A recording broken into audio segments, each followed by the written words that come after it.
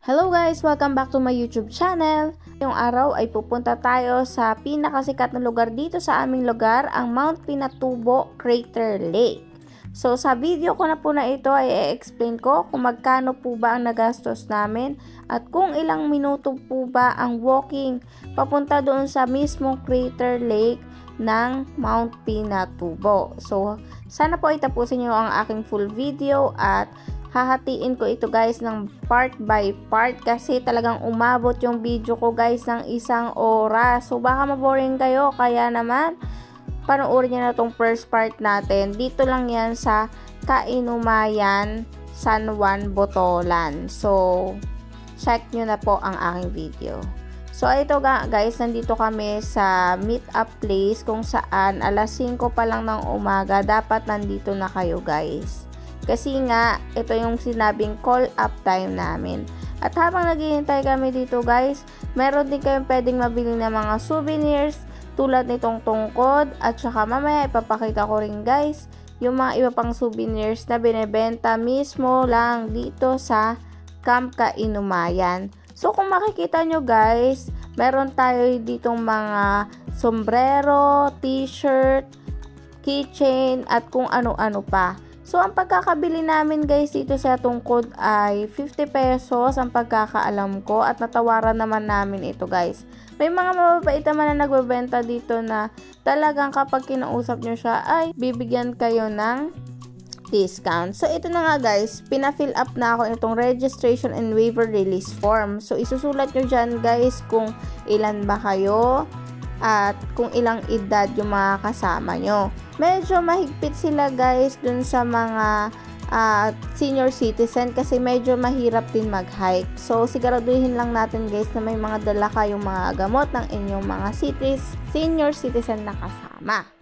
At guys, wag nyo rin kalimutan na magdala nung acknowledgement receipt nyo kasi kukunin sa inyo yan guys. I-check kung ilang packs ba kayo.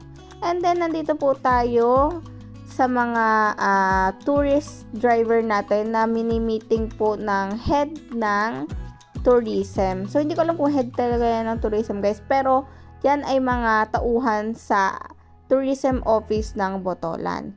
So, sa ating 1,550 pesos na registration fee, bibigyan kayo niyan guys ng sarili nyong tourist guide at inyong sariling driver. So, hindi tayo guys makakapili ng mga sasakyan na gagamitin natin. Sila po ang kusang mag assign So, yon At ito na nga guys, pakinggan natin yung sinasabi ng ating uh, tourism officer kung ano ba yung mga do's and don'ts po, meron po tayo sa Russell na kung tawagin na na-approach us na. Pwede rin po tayo mag-stop over doon to take a picture and then balik na po tayo sa sakyan. Uh, second Daita community po, located po sa Sitio Dayday, 1 kilometers away na po mag-start ang inyong trekking.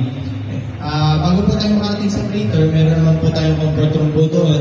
And then maximum 1 p.m. lang po mag-stay sa crater, balik na po tayo sa parking area. Uh, leave no trace policy, makahalat po natin, pakibalik na lang po ulit dito sa baba. Pwede po tayong pumunta sa mismong crater, hawakan po yung tubig, uh, bawal po naligo dun kasi yung tubig po nun may contain po sulfur algae.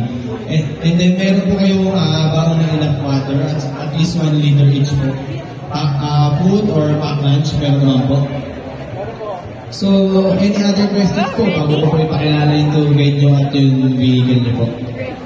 Wala naman po. Okay po. Uh, sa grupo po tapos niya na nga guys, sinabi yung mga kailangan nating dalhin at yung mga reminders paakyat ng Mount Pinatubo. So, ito na guys yung na-assign sa amin na sasakyan. So, napakalaki niya guys. Di namin akalain na anim lang kami dito. Tapos, ganito pa kalaki yung ibibigay nilang sasakyan. And guys, so guys, nasa sasakyan na kami. At yung pesto ko nasa taas ng uh, 4x4.